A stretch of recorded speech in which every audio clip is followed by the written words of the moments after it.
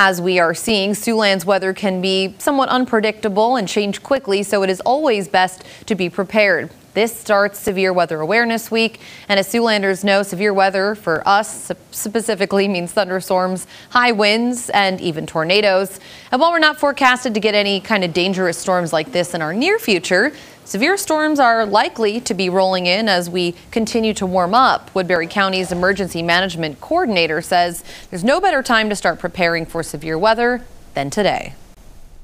So the time to start preparing for any emergency or disaster is now.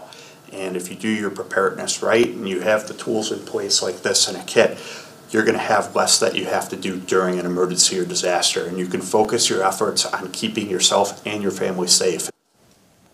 One of the first things to do to start preparing for severe weather season is to make yourself an emergency kit for your household. It should include an emergency weather radio, three days worth of non-perishable food items and water, and some blankets are always a good idea.